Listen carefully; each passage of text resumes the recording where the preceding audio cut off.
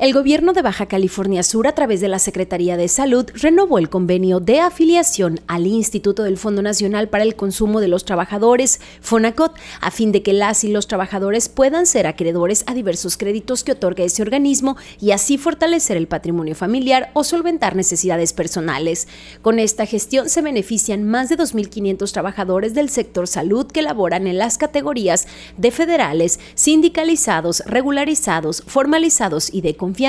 quienes tienen la posibilidad de agendar citas en el portal oficial de Fonacot para solicitar un préstamo. Así lo dio a conocer la titular de la dependencia, la doctora Sácil Flores Aldape. Comentar que el convenio con, el Fonacot, con el Fondo Nacional para el Consumo de los Trabajadores, ya fue renovado por la Secretaría de Salud. Esto con la finalidad de, continuar eh, beneficiando a las compañeras y compañeros de la Secretaría de Salud que son federalizados, sindicalizados, regularizados, formalizados y de confianza. Y esto seguramente será un beneficio para ellos y sus familias. Y también me gustaría comentar que ya fue posible la, la, entrega de la primera parte del aguinaldo, esperando que todo el mundo pueda hacer adecuado uso de este recurso y comentar que se están realizando todo lo necesario para, para cumplir con los compromisos de, de fin de año que tenemos con nuestra plantilla laboral. La institución estatal llevó a cabo los trámites necesarios para materializar el restablecimiento de esta prestación